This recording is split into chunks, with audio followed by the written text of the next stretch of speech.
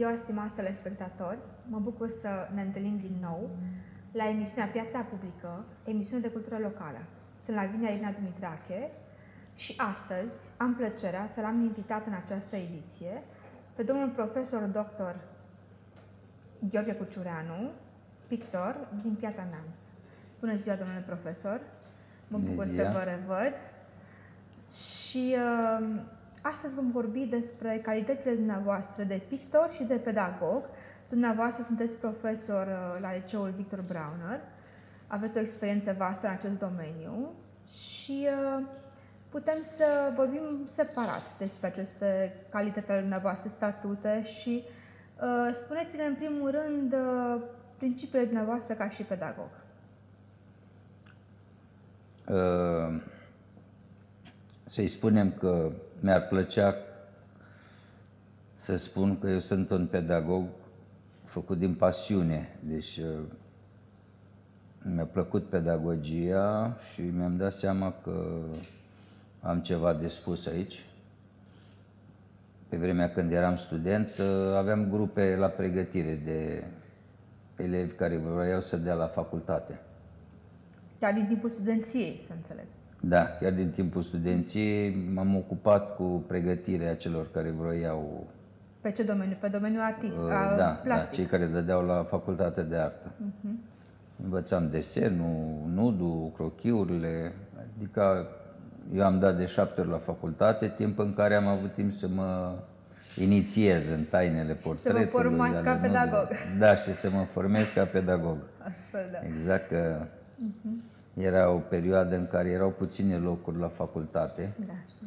Erau în jur de șase locuri, șapte locuri pe, pe an. Pe țară? Pe secții. Pe, pe secții. Pe țară erau câteva zeci. Câteva zeci. Da, deci da. nu se compară cu ce este acum. Uh, deci, uh, ca să poți convinge o comisie, trebuia să depui nu numai eforturi, trebuie să dezvolți intuiția, comunicarea și mai ales să te pui în faza de a o face într-o situație de stres, cum e un examen, să faci o lucrare bună.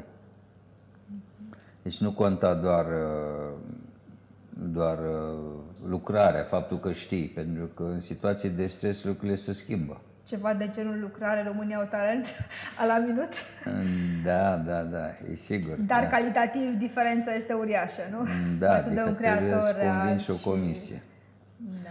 Și atunci dacă am reușit cu mine, după aia am încercat și cu alții. Și au intrat, uh, unii dintre ei au intrat, uh, unii au murit, cum e în viață, unii Dumnezeu să-i odihnească, unii au abandonat, unii au, uh, au dus mai departe uh, spiritul ăsta care zic eu că am reușit să-l descoper printre atâtea competiții. Mm-hmm.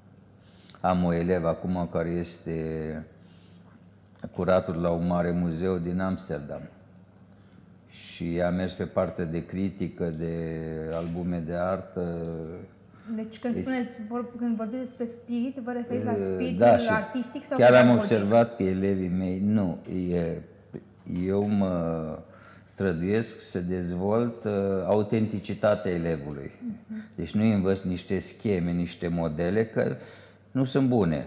S-ar putea să intre la liceu, să ia la olimpiadă, să câștige ce știu eu, ce concursuri, dar Uh, îi va dispărea dorința interioară, impulsul interior în care creator. e creator, care de fapt e singurul care contează și care îl mobilizează la lung. Asta, instinctul ăsta ne face artiști până la urmă și oameni de cultură. Fără acest instinct, instinctul ăsta se descoperă greu, deci nu îl găsim de cumpărat la... Nici nu ne-l poate spune nimeni. Și poate acest simț uh, creator dezvoltat să dezvolte însuși omul, să te dezvolte ca, să te transforme pe tine ca om, dacă îți dezvolți da. simțul acesta creator. Un fel de naștere măsură, din nou, cum, se poate cum spune. Cum vedeți acest aspect, această uh, transformare a omului prin creație? În ce măsură este posibilă și Să vă povestesc cum am intrat eu la facultate. Deci după șapte ani, cum am reușit să iau notă mare la proba de pictură.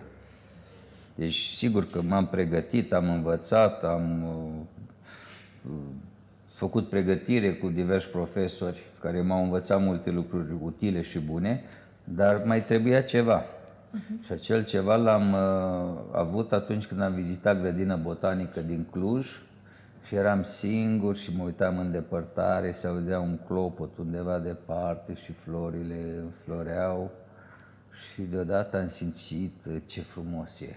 Și m-am dus în starea aia, ce știu, o jumătate de oră am stat în ea și după aia a doua zi am avut uh, proba de pictură și am încercat și am rămas cu acel gust, cu acea memorie a senzației din parc și am uh, reușit să exprim în culoare ce am simțit acolo. Și aia a fost lucrarea care a făcut de partajarea. Cei care au venit în comisie au spus, da, uite, uh, copilul ăsta are ceva, are un simț, are o... O stare oarecum meditativă, să spunem, da. după ani de studiu ulteriori.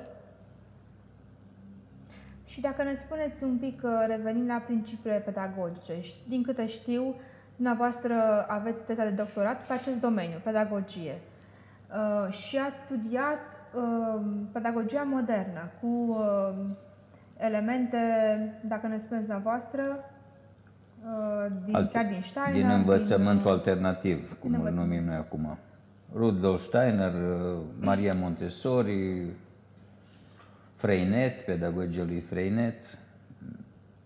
Și partea de autenticitate a dumneavoastră din teza de doctorat, care este? Adică uh, sinteza dumneavoastră. Asta mi-a plăcut mie, adică să... atât Freinet, Steiner cât și Montessori au avut curajul să, să înfrunte niște canoane. Uh-huh. Deci, uh, părerea lor este că creativitatea copilului nu se poate învăța prin tot felul de jocuri, să zicem, de colorat, în care umplem suprafețe și iese tigru. Am înțeles. Tipare. E chiar, chiar invers, chiar invers. Întâi trebuie dezvoltată creativitatea și imaginația și copilul trebuie să-și facă cu timpul propriile mașini, propriile tipare. Altfel intrăm într-o lume comercială și suntem niște consumatori și oricât am consumat, nu vom ajunge la acea stare din parc, ce știu eu, care am avut-o eu, care vine până la urmă și în urma unui efort personal, dar și a unui curaj de a sparge bariere. Și poate și o formă de grație, să zicem, o inspirație de dincolo de noi. Putem să creăm această stare noi înșine când vrem, la dorință, această stare specială, cum Ține spuneți. de noi, ține de noi. Uh-huh. Îmi place să cred că e o stare care au avut-o și Sfinții, și Buddha, și Socrate, și uh, Einstein probabil. Acel evrica, acea bucurie interioară pe care o regăsim atunci când găsim că pulsul vieții se află în noi înșine. Deci când avem, uh, nu e vorba de a lupta cu cineva, e vorba de a înțelege că tu poți mai mult și că nu te poți mulțumi cu o situație intermediară. Dacă poți atinge superlativul, de ce nu? Am înțeles. Că dacă eu singur îmi spun, dar eu nu voi atinge niciodată superlativul, că sunt prost, sunt așa și așa și așa, păi sigur că îmi creez singur propriul destin. Când aș putea să-mi zic invers și să văd ce se întâmplă. Și cam toți oamenii mari care i-am studiat, eu am văzut că au pus baza pe această sugestie pozitivă. Deci fug de negativ ca de nu știu ce. De ce? Pentru că în momentul când am emis ceva negativ, am și creat o condiție pentru ce se va întâmpla. Întreaga psihologie modernă da. susține acest aspect. Dacă nu accepti eșecul, nu zic că vine imediat, dar creăm premize. Creăm premize și natura până la urmă are și puncte de spus. Nu putem numai să tăiem copaci, să consumăm, să mâncăm și să ne așteptăm la bine. Binele nu e în cea mai bună mașină, ci în om, până la urmă, în corpul uman, în natura Pentru că umană. și mașinile sunt create de oameni, deci sunt oarecum... Sunt utile, sunt dar... Sunt uh, inteligenței umane, pentru că inteligența, inteligența umană le-a creat. Da, da. Oricât, din, este o perspectivă și aceasta, oricât de inteligent ar fi o mașinărie, pentru că a fost creată de om, principial omul este mai inteligent decât orice mașinărie, dacă înțelegeți uh, corelația. Și cu siguranță o înțelegeți. Dar uh, ce vreau să vă întreb, cum, putem, cum poate omul obișnuit, care uh, are acest uh, sentiment sau această revelație evrica în anumite momente, Cum poate aplica această dorință de transformare, de transformare în viața de zi cu zi, în viața socială? Ne ajută și social această căutare de sine, că despre asta este vorba? Ne ajută la integrare? Dacă ne puteți dezvolta puțin. Păi am făcut și în pedagogie probe de genul ăsta și uh, până la urmă nu e nevoie neapărat să obosești copilul cu tot felul de indicații și cărți, ci foarte important să ai încredere în el și el să simte că tu ai încredere. Poate că nici nu îi spui nimic, dar el preia încrederea ca pe un câmp care îi dă curaj și motivație. Pe când dacă tu inconștient îi transmiți copilului că orice ai face, tu ești un prost sau nu va ieși, nu trebuie să-i spui nimic. El imediat simte o scădere energetică și o lipsă de chef de a mai lucra, de a face. Ca și cum l-am negat Dacă pe el, ești nu? și în rămas în urmă cu anumite teme, ă, crește proporționalitatea. Ce rol pot avea părinții în această dezvoltare personală a copilului, a elevului? În sensul ăsta am făcut asociația care se cheamă Centrul Regional de Educație Estetică, uh, în sensul de a ajuta părinții să obțină o consiliere de calitate, psihologică, pedagogică. Pot să zic că deocamdată nu prea vin pentru că părinții, direcția lor este predilectă prin televizorul și cumpără tot felul de cărți de utile. Așa este trendul. Ei vor Sau e rezultate ca o modă. concret din, din Numai că moda se mai și schimbă. Se mai și schimbă. Și chiar acum, ieri discutam cu cineva și mi-a zis că a v- a vândut la o librărie uh, foarte multe cărți de Montessori, cu altfel de jocuri care pun altfel de probleme. Deci părinții uh, deja se orientează, nu mai cumpără din vechile tipare și încep și copiii și părinții vor ceva nou, poate ceva mai eficient uh, și adaptat nevoilor lor. Sunt genuri de oameni care merg după ce este la modă. Și dacă oamenii de calitate și intelectuali schimbă trendul și devine la modă Montessori, da, sau Steiner sau alții, sau poate Platon sau Socrate, că o să ajungem și acolo, atunci cei care se orientează nu- numai după modă o să meargă și ei spre, cel puțin, uh, doar de fațadă, dar oricum se vor cumpăra Da, aceste lu- cărți, vor fi și ei Acum i-am influențați. învățat ale- din pedagogie că lucrurile trebuie luate la nivelul logic.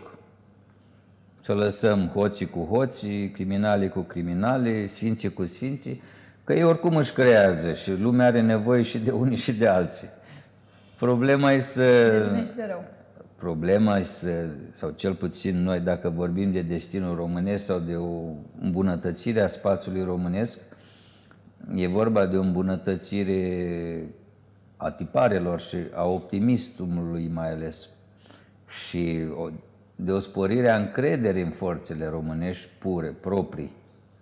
Pentru că dacă vom avea încredere numai în produse străine și în tipare care vin din străinătate, Că astăzi discutam de pildă cu copiii la școală, le-am cumpărat niște cărți foarte bune de desen și le-am zis care e partea negativă la faza asta. Cărțile sunt bune. Și am zis, păi partea negativă, le-am zis eu, pentru că nu sunt făcute de români.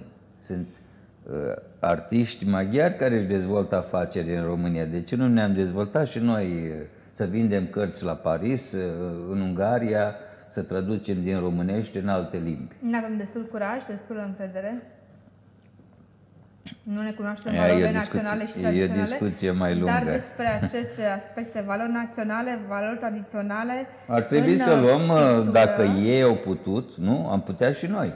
Da, vă Da, spuneam mai- că despre aceste valori naționale și tradiționale în pictură și mai ales în uh, creațiile dumneavoastră, o să vorbim, o să vorbim după o scurtă pauză de publicitate, stimați telespectatori.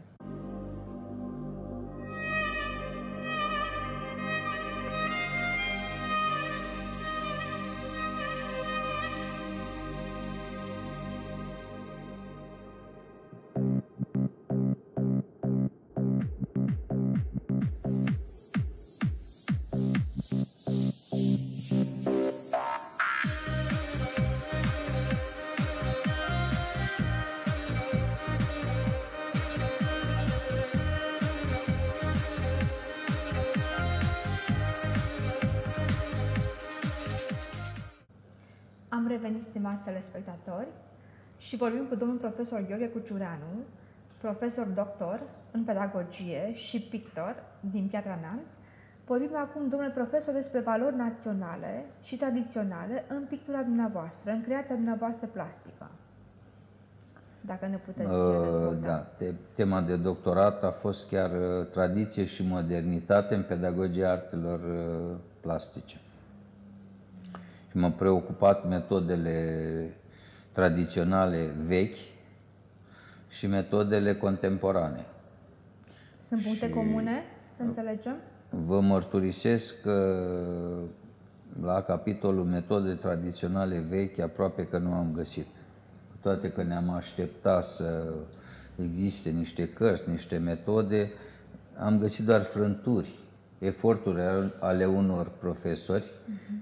Dar nu am găsit un sistem coerent uh, un sistem viabil, aceea, nu? un viabil, viabil, da, da. Uh, același lucru s-a întâmplat și la metodele moderne. Uh-huh. Deci foarte multe metode care se bat cap în cap, uh, mult amatorism, uh, mult show, să-i spunem. Și atunci o bază trebuie... științifică reală, nu? Vreau să zic că sunt multe eforturi și financiare și de toate naturile au fost uh, investite aici, în schimb cu rezultate modeste. Cu rezultate modeste în sensul că haideți să ne apucăm să facem, strângem fonduri, îi ajutăm pe copiii de la, ce știu, București, care am strâns fondurile, după ce avem fondurile încep să apară priorități. Dar știi că trebuie să-i dai lui ăla, știi că trebuie să faci aia, știi că... Și aproape că nu mai rămâne nimic pentru cercetare autentică. Da, e vorba Sau de foarte puțin. Și atunci cercetarea de genul ăsta o fac mai mult pionieri, adică voluntari. profesori, voluntari care își pun banii lor, care își pun timpul, cei pasionați. Da. Și după aia mai e altă poveste. Dacă acel cineva ajunge la un rezultat, va fi vizibil pe mass media imediat, iară să, băi, știi că trebuie să respectăm o anumită linie, ce va zice ăla, ce va zice celălalt. Se impun niște condiții social-politice. Unele chiar inconștiente. Există și foarte, cred că mai multă autocenzură decât cenzură efectivă. Și asta am observat și în Franța și aici. Deci omul, de fapt, 90% se autocenzurează. Și nu e vina noastră? La urmă Până la urmă sunt aceste clișee, modele negative care le preluăm și credem noi că am fi în siguranță dacă. Numai că viața trece, timpul trece și dacă nu ajungem să ne bucurăm, să trăim cu adevărat la ce bun. Restul, nu mai suntem niște sclavi într-un sistem, împingem o mașină și nu știm în ce direcție. Și omul poate mai mult, poate mai mult și atunci da, sigur, așteptăm toți de la viitor. Viitorul... Să înțelegem că trebuie să avem curaj să punem punctul pe ei, nu? Și să uh, da. cu bun simț, probabil și în limitele... Dacă nu ne obligă natura, are ea grijă. Dacă nu ne obligă natura, doamne Dacă ferește. tăiem prea mulți copaci, okay. noi vom suporta consecințele climatice.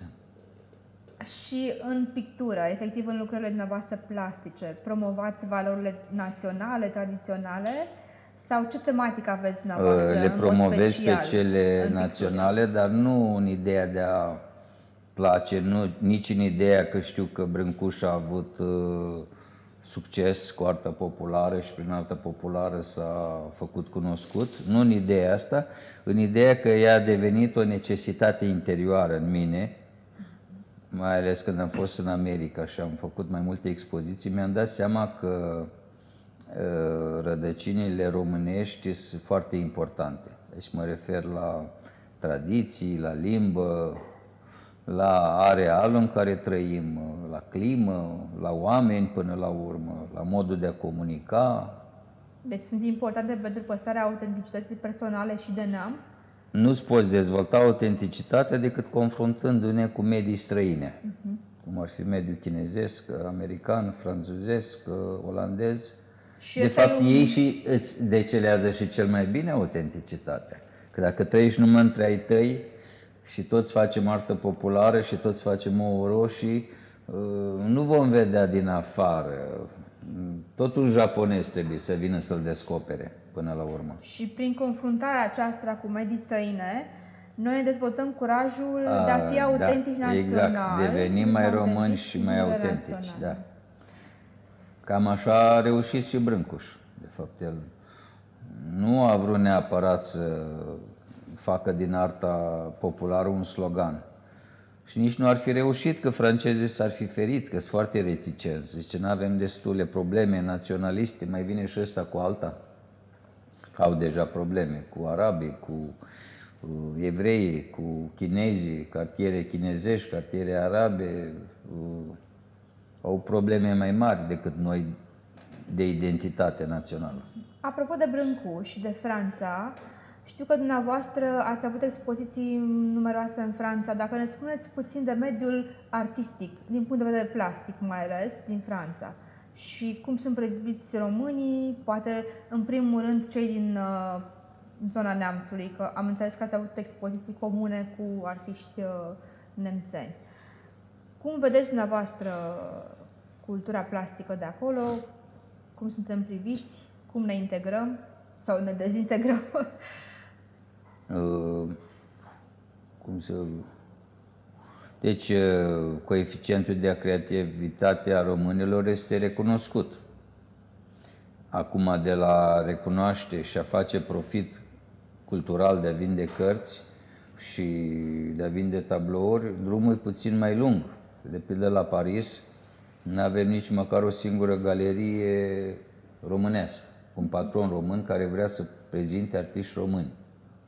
Sunt galerii daneze, sunt toate națiunile au, românii nu au, pentru că nu au și după aia cumpărătorii, cumpărătorii, da, cumpărătorii sunt obișnuiți să cumpere nume consacrate. Uh-huh. Ori ca să-ți poți face publicitate la sute de mii de euro, îți trebuie ori o galerie mare, ori o, un investitor puternic. Pentru că trebuie să bombardezi zilnic, zilnic mintea oamenilor ca să devii cunoscut. Și cum poți convinge Acum, un investor să zicem, puternic? dacă Adrian Gheni ar veni la Paris și ar vinde o lucrare cu 20.000 de euro, ar fi coadă, pentru că știe că a vândut cu 2 milioane. Dar și mass media și-a făcut datoria și foarte mulți oameni știu că el a vândut cu 2 milioane. Poate nici nu e adevărat, dar până la urmă Am înțeles. nu mă interesează adevărul. Eu iau din punct de vedere științific, al unor uh, clișee logice. Da. Da. Și uh dacă ne gândim puțin, uh, dumneavoastră, uh, cum considerați că putem, uh, se poate convinge un investitor puternic sau cum se poate convinge mass media, vorbind și de anumite forme de manipulare, să promoveze cei care, un artist? Da, cum îi convinge? Acum cei care au încredere... Bani nu privesc au, nu știu, dumneavoastră știți mai bine, vă rog să ne Cei spuneți. care au încredere în România și sunt destui, nu fac parte din topul politic pentru că topul politic, ca să-și câștige alegerile, au nevoie de imagine despre români, gen țigani, gen cerșetori. Uh, nu pot să prezinte valorile românești, știți?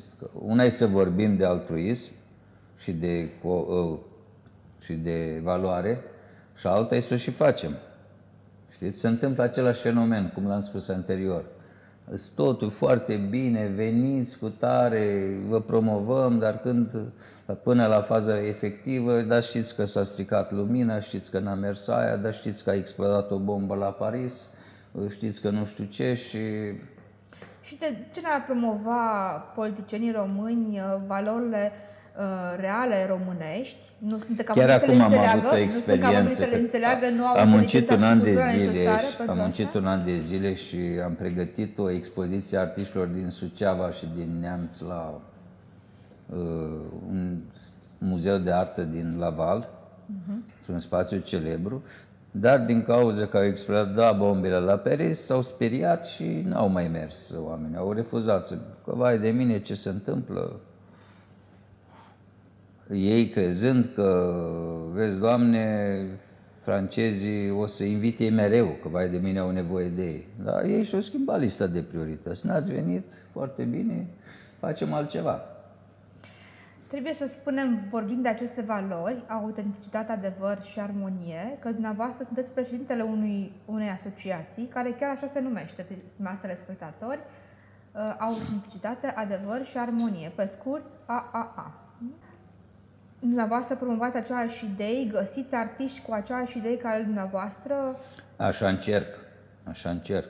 Deci, uh, ca să mă pot implica total, uh, pentru că nu sunt plătit pentru asta și o fac o, cu o activitate adiacentă, dar ce fac îmi, îmi, face să, îmi place să fac cu tot sufletul, uh, încerc să găsesc artiști sau fragmente din ce văd eu la artiști români care uh, încearcă să dea o imagine coerentă. Coerentă, cum de pildă noi am avut uh, Sfântul Ioan Iacub Hozevitu, e un sfânt mare care a scris și poezii foarte mari. Și eu uh, l-am ales în, uh, în lista mea de poeți, în primul rând pe el. Uh, nu l-am pus în carte, l-am pus pe copertă, dar îi găsesc locuri, știți, nici nu vorbesc că e sfânt sau prea mult, dar îi găsesc locuri care poate să contribuie, pentru că până la urmă și ce am face noi fără credință, că să dacă tot am mers pe credința asta 2000 de ani, ce-ar fi acum să o abandonăm că e modern altceva? Avem deja mănăstirile sunt recunoscute, avem călugări, avem sfințe, avem o cultură tradițională creată, avem o artă folclorică creată în jurul bisericilor. Și până la urmă astea sunt rădăcinile noastre. Deci să înțelegem că valorile ortodoxe, că despre asta vorba în primul rând, nu neapărat da. doar creștine, sunt echivalente cu valorile românești, care trebuie promovate Eu în așa înțeleg, de România da, în da. sine. Și mari oameni de cultură ai noștri au mers tot pe filonul ăsta. Și dacă ne spuneți, uh, din câte știu dumneavoastră, aveți uh, um, legături, prietenii și promovați și preoți, despre asta e vorba, și economiști care au, făcut, au studiat arte plastice ulterior, adică din uh, domenii diferite, creatori. Da. Ehm, prind ideile acestea pentru omul de rând, cum uh, îi convingem pe oameni să se transforme prin uh, uh, cum promovăm aceste idei și cum ajung aceste idei la ei. Păi ca să opaci, prindă, nu știți sunt... că românul are o vorbă, cu o floare nu se face primăvară.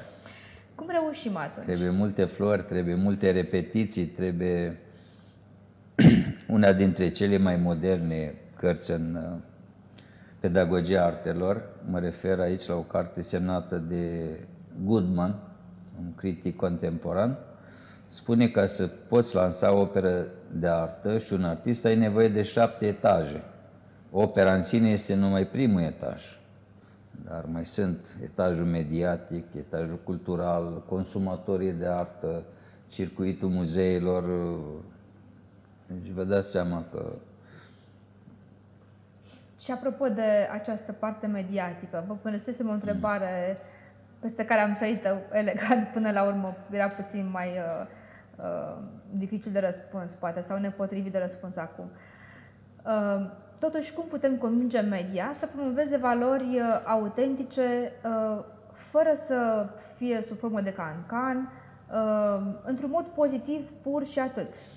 Da, un subiect. Avem șanse am văzut, Chiar am văzut aseară, am fost la frizer, m-am făcut frumos ca să vin la emisiunea dumneavoastră și subiectul era la televizor, Vali Vigelie a cheltuit 25.000 de euro și a venit din Mexic. Așa. Cine e Vali Vigelie? Ce artă promovează? Cum arată? Pentru că vine un timp... Uh, într-adevăr. Un timp ploios. Păi, cu, cu asemenea emisiuni, lumea nu o să-și mai cumpere televizoare și unde e business-ul până la urmă. Da, și despre adică asta până la urmă trebuie să privim uh, pe termen lung și mass media nu lucrează doar acum. Plus de asta ce am stricat acum va avea consecințe viitor. Ce ar însemna ca malenismul să pătrundă peste tot. Bun, dar n-aduce frumos, n-aduce valoare, nu e Bine, sunt oameni și ei, nimic de zis, dar, înțeles, nu, dar nu înseamnă că trebuie hai să să aducem preia... periferia la centru și centru să dispară. Da, pe de altă parte și Există intelectualii o- sunt oameni și ei, nu? Da, da, exact atunci. nu? Ce mai facem cu Mozart și cu Beethoven Da. și cu Rembrandt? Am înțeles că toată lumea pictează, dar totuși hai să-i punem uh, pe pictorii de la periferie, să-i punem la Louvre și cei de la Louvre să îi ducem la... Totuși există o, nu? Trebuie să existe și o departajare a valorilor. Și probabil că va trebui să existe un declic, nu? Ca în, sau în timp se va uh, orienta uh, spre o altă perspectivă și mass media și cultura românească uh, spre pozitiv sau se va reorienta, pentru că noi vorbim despre valori care sunt practic antice, nu? Da. Uh, și care în timp uh, știm că n-au mai fost promovate. uh, Din păcate, Socrate a vorbit despre social și importanța individului în antichitate și au trebuit să treacă 2400 de ani ca să dea o lege în Franța, legea asociațiilor, prin care li s-a dat voie la oameni să se asocieze. Nu mai spun de noi că de-abia avem uh, 20 de ani, 25 de ani de... Deci uh, sunt niște timpi care lucrează de-a lungul istoriei și au perioade uh, lungi de timp. În cultură noi plantăm acum, dar rezultatele vor fi în viitor. Nu știm în cât, 10 ani, 20 de ani, dar actul de cultură întotdeauna veritabil, știți, se adresează viitorului. Aveți încredere că vom reuși să schimbăm ceva pozitiv în România? Cel puțin uh, în generația noastră, generația aceasta, următoarea, în două generații? Speranța moare ultima și până la urmă, dacă nu sperăm, ce-ar fi să Și dacă vorbim nu despre muncim? pozitiv și să nu fim negativ. Și dacă nu muncim în acest sens, Da, vom da, avea da. șanse. Sigur, trebuie să avem și răbdare. Și acum, spre finalul emisiunii, domnule profesor, uh, dacă puteți să dați uh, telespecta- telespectatorilor noștri, mai ales tinerilor noștri din Piatra Neamț, un sfat, um, o îndrumare din experiența dumneavoastră ca pedagog și ca și creator. Păi, uh, cred că în cadrul pedagogiei ar fi utilă o colaborare foarte strânsă între un pedagog, un psiholog și un părinte. Deci părintele, dacă îți lasă totul copilul pe mâna școlii și a sistemului, crezând că sistemul are grijă de el, se înșeală. Și că este responsabil sistemul Se și doar înșeală. atât. Nu, trebuie să se implice la sânge, să se implice și faptic, și ideatic, și cu încredere, bineînțeles. Și prin medierea unui psiholog, asta vreți să spuneți, între părinte Problemele și... nu.